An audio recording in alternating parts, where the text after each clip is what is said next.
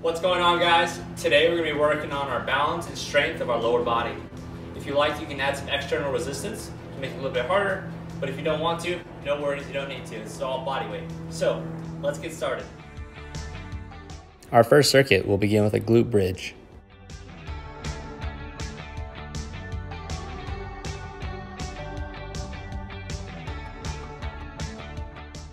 Next, we'll do a single leg plank.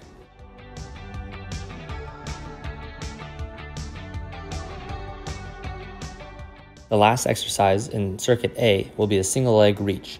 You don't need cones for this drill, you can simply reach out in each direction.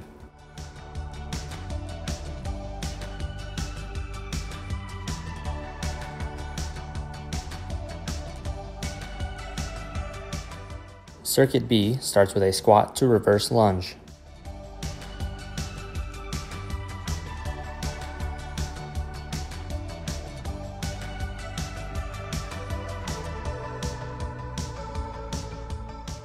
Lastly, we'll be performing a side lunge to balance.